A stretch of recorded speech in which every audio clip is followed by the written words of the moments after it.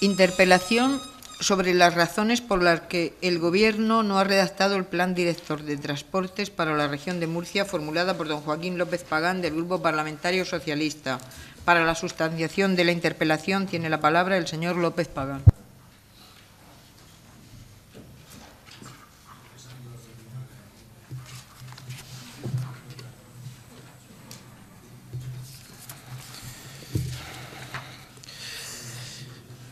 Señorías, eh, consejeros, consejeras, buenas tardes. Bien, eh, eh, las infraestructuras, el transporte, áreas estratégicas, sin duda, son estratégicas y además absolutamente necesarias para, la ciudadanía. y en el tiempo en el que yo vengo llevando estos temas en la Asamblea Regional, siempre he creído que siendo así por deseo, es eh, bueno ser prudentes hasta que las mismas no son una realidad, porque efectivamente podemos incurrir en el error de hablar de cosas que no existen, que deseamos y por las que queremos trabajar todos, pero que eh, creo que debemos ser prudentes hasta que un día las veamos de verdad y las disfrutemos, porque será un objetivo común. El transporte es una actividad primaria cómo llevar las cosas de un punto a otro. En la sociedad moderna ha evolucionado hacia la asunción de una función estructurante en la ordenación territorial y urbana por su papel cohesionador y a partir de esto en una actividad de servicio, adquiriendo un desarrollo y complejidad tal que se puede afirmar eh, que conforma hoy un mundo de relaciones, de intereses y competencias, un mundo dinámico y selectivo. El transporte es un sector político, económico, social, que debe, como decía, considerarse especialmente estratégico. La complejidad del transporte se visualiza en la dispersión de organización en nivel político, administrativo, administración regional, municipal, incluso comunitaria. Es una de las actividades económicas con mayor incidencia social, porque afecta al derecho básico de la movilidad de la ciudadanía, pero también porque es el que más contribuye a la alteración del medio ambiente, por ser eh, causa de una gran parte de la emisión de gases contaminantes y del efecto sierra sobre el cambio climático. Sin embargo, señorías, en nuestra sociedad las personas no han cambiado su percepción de los transportes y la utilización del vehículo privado supera con creces la del transporte público, de los vehículos públicos, de configuración intensiva y masiva como el ferrocarril o el marítimo que han sido relegados a un papel secundario.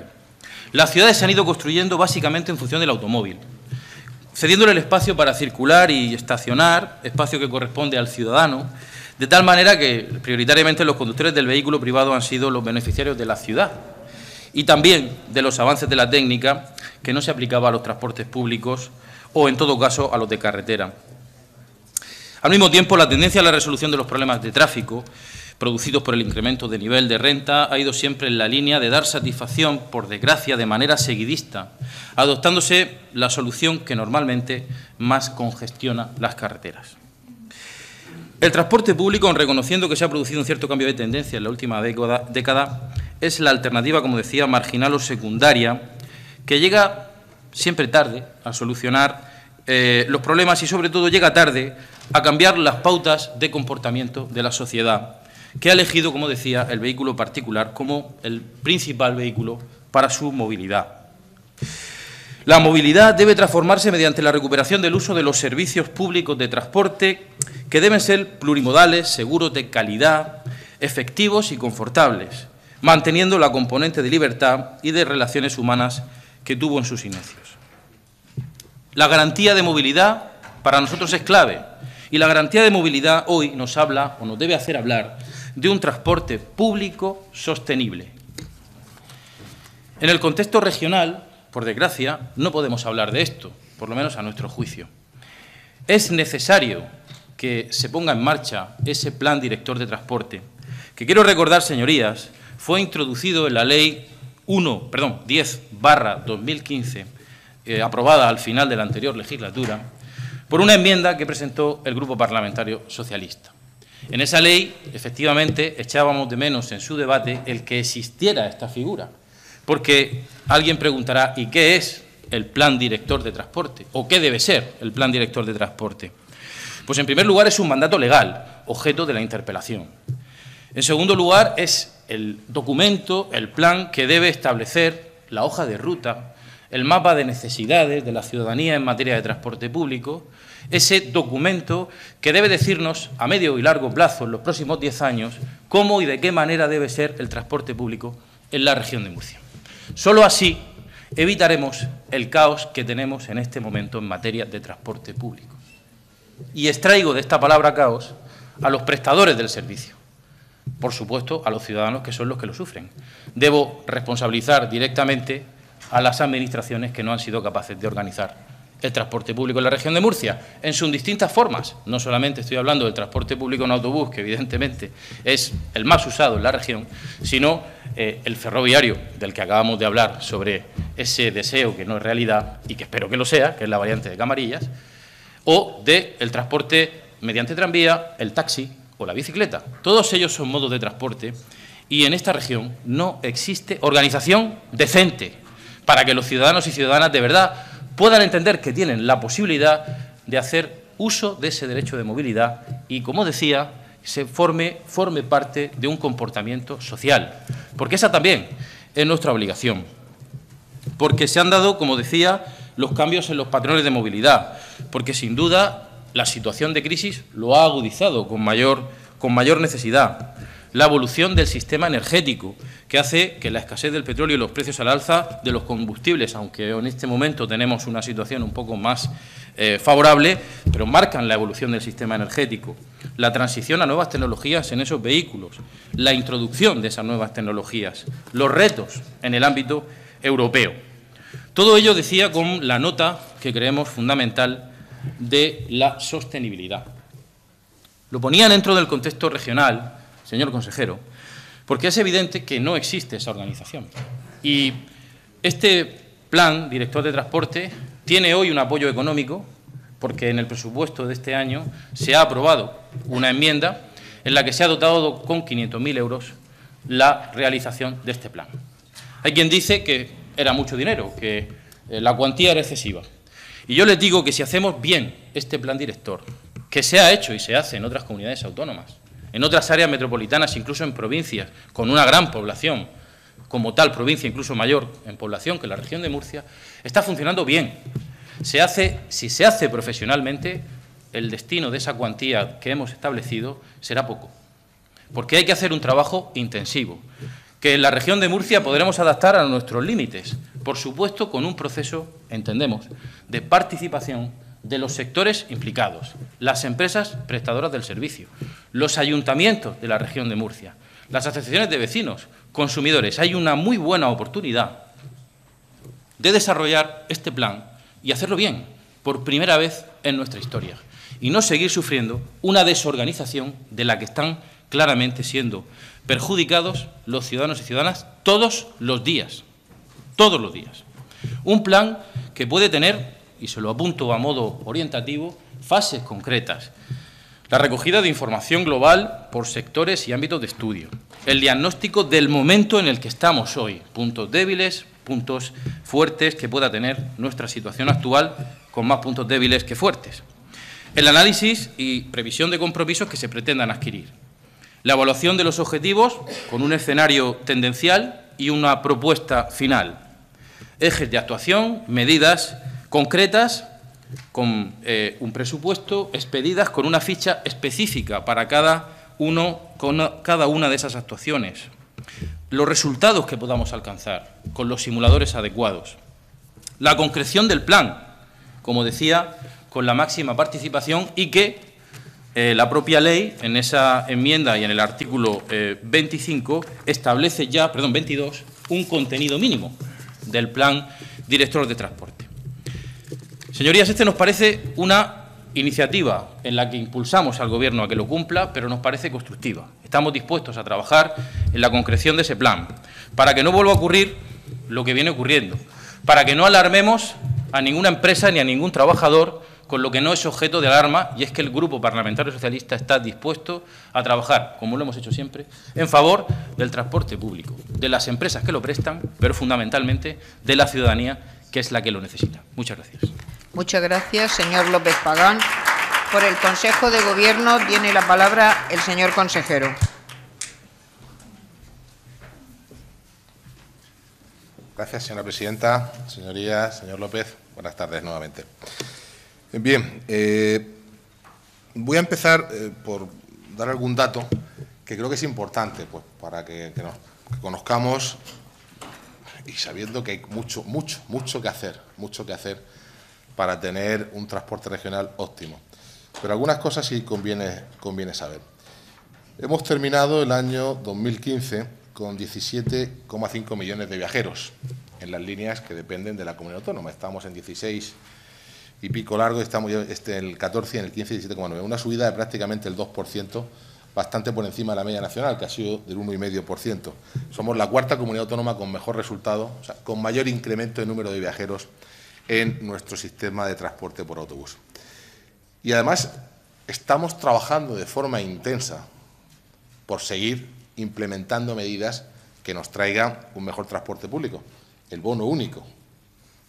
En el caso de la ciudad de Murcia, desde hace un año aproximadamente que lo pusimos en funcionamiento con los autobuses de LAT, con los colorados y con el tranvía.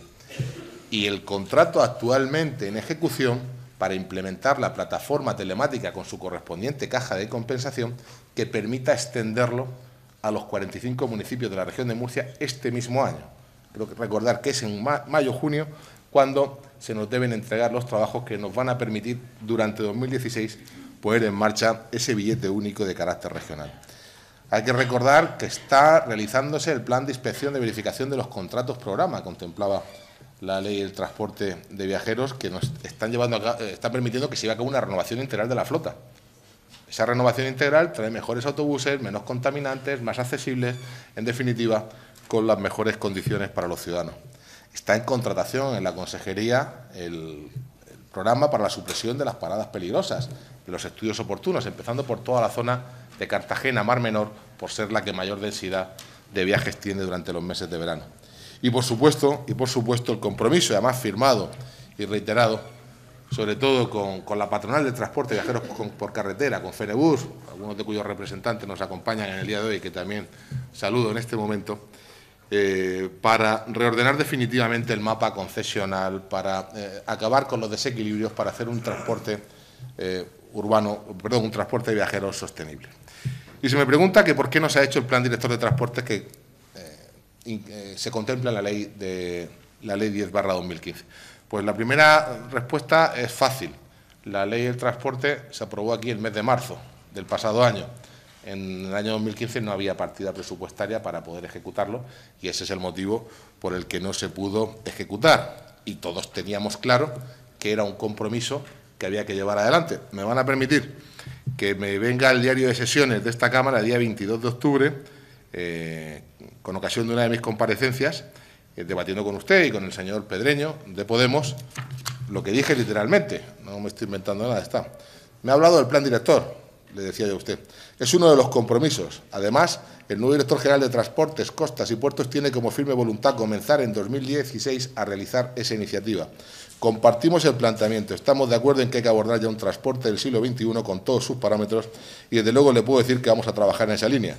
Y posteriormente añadía, habrá que ponerse en manos de profesionales que estudien bien la situación y que nos puedan orientar.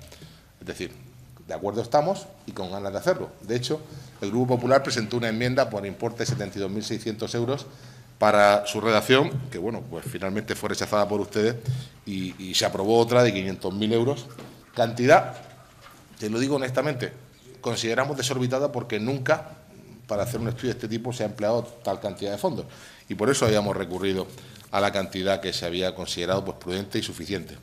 En todo caso, por supuesto, señor López, hay partida, se va a licitar la redacción de ese plan director por la cuantía que determinen los técnicos de la consejería, el importe que consideren oportuno, y los contenidos son los que dice el artículo 22 de la ley del transporte que establezca las conclusiones de posibles desequilibrios entre oferta y demanda, fijándose estrategias y actuaciones para corregir esas situaciones, que se configure la red regional de los transportes referida a infraestructuras y servicios, estableciendo los niveles básicos de prestación de los mismos y la necesidad de aquellas obras de construcción y modificación de las infraestructuras que se juzguen precisas para asegurar un funcionamiento eficaz de dicha red, así como los requisitos y características de los servicios de transporte regular de responsabilidad pública referido a cada uno de los modos de transporte definiendo el sistema de financiación y de gestión económica, absolutamente fundamental, definiendo un régimen tarifario y de horarios que propicien la comunicación intermodal en el ámbito regional y de esta con el exterior, y finalmente concretando los criterios para la creación de los órganos y entidades que gestionen el sistema integrado regional del transporte público regular de personas. Como le digo, en octubre ya manifesté que era un compromiso del Gobierno del presidente Pedro Antonio Sánchez. La ley lo recoge, ley presentada a instancias del Grupo Popular, por cierto, el pasado año, y las partidas presupuestarias ya están, coincidimos todos y es lo que vamos a hacer. Gracias. Muchas gracias, señor consejero. En el turno de réplica tiene la palabra el señor López Pagán.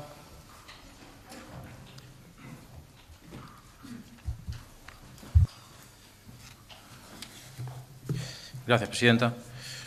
Seré muy breve. Eh, señor consejero, le decía lo que al inicio de mi intervención. Eh, yo quiero creer, quiero creer, mm, eh, quiero sobre todo verlo, eh, porque efectivamente los datos que hoy nos ha proporcionado el INE pues, nos dan un aumento, le rectifico porque según yo he leído, por debajo de la media nacional, pero muy cerca de la media nacional.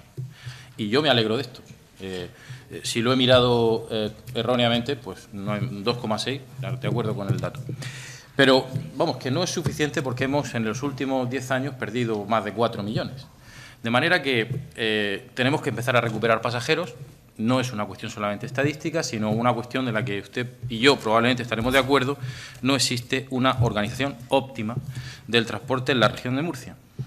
Eh, respecto, por tanto, de las otras explicaciones que usted me ha dado, eh, y saludando también, es verdad que no había reparado en saludar a los representantes de Fenebus, insisto en que algunas de esas soluciones, el bono único del que usted habla, eh, otro de los planes que nos preocupan, ¿eh? la, realidad del sistema integrado de transporte, que usted sabe que hoy, ahora mismo, probablemente estemos en una situación de ilegalidad, porque no se están incorporando las empresas al sistema de integrado de transporte en este momento, y eh, la prórroga acabó, de manera que no sabemos, y será objeto probablemente de otro debate, cuál es la situación jurídica de esas empresas.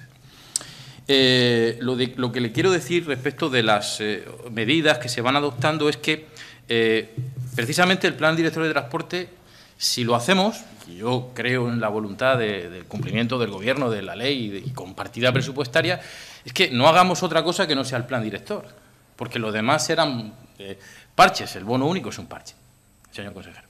Y por tanto, con la buena voluntad que hoy yo le, le, le oigo, le escucho, pues lo que le pido es que ya no hay ninguna excusa. Hay una ley, una ley que efectivamente presentó el Grupo Parlamentario Popular, pero el Plan Director de Transporte es una realidad hoy porque lo enmendó el Partido Socialista, trabajo conjunto, la medalla de todos. Pero voluntad real de ponerlo en marcha porque, señor consejero, nos parece fundamental para que la falta de transparencia, la opacidad de esa desorganización, hasta hace difícil el control de la oposición respecto de la situación del transporte. Y usted sabe, como yo, que es una materia técnicamente compleja. Por tanto, como además el plan debe venir a la Asamblea Regional, qué mejor manera, definitivamente, de no tener que parchear más la situación. Por eso le pido, dentro de esta voluntad, urgencia, urgencia en la licitación, en la puesta en marcha con la cuantía que efectivamente los técnicos de la Consejería de Fomento determinen, urgencia, porque ese es el plan y no otro, y no más parches para ponerle solución al transporte público en la región de Murcia. Muchas gracias. Muchas gracias, señor López Pagán. Y en el turno de dúplica tiene la palabra el señor consejero. Gracias, señora presidenta. Eh, siguiendo el mismo tono constructivo, señor López, eh, y le vuelvo a decir, como siempre le he dicho, mano tendida y puertas abiertas para todo el trabajo que hay que desarrollar a partir de ahora. Pero también les pido, y se lo digo de verdad, el tono debate muy constructivo, que no se tome esto como un ataque ni con ningún tipo de desconsideración. Eh, pero también sería bueno que escucharan y que atendieran. Y se lo digo ahora porque se acaba de aprobar un presupuesto regional con unas enmiendas promovidas por ustedes yo la misma mañana del presupuesto, de la aprobación del presupuesto, se lo dije a usted, ahí se lo dije al señor Pedreño en su escaño. Por favor, no quitemos lo que se le va a quitar a las empresas del transporte de la región de Murcia. Había en el proyecto de presupuestos 7,3 millones de euros dedicados al sostenimiento y mantenimiento de todas las líneas de la región de Murcia, de todas. Lo principal y fundamental para que los ciudadanos se puedan subir a los autobuses es que haya autobuses circulando, porque si no circulan difícilmente se va a poder subir alguien. 7,3 millones para subvencionar los desplazamientos de 22 millones de viajeros, que son los que se mueven en el total de las líneas que prestan servicio. Ustedes con sus enmiendas han dejado esas aportaciones en 4,7 millones de euros.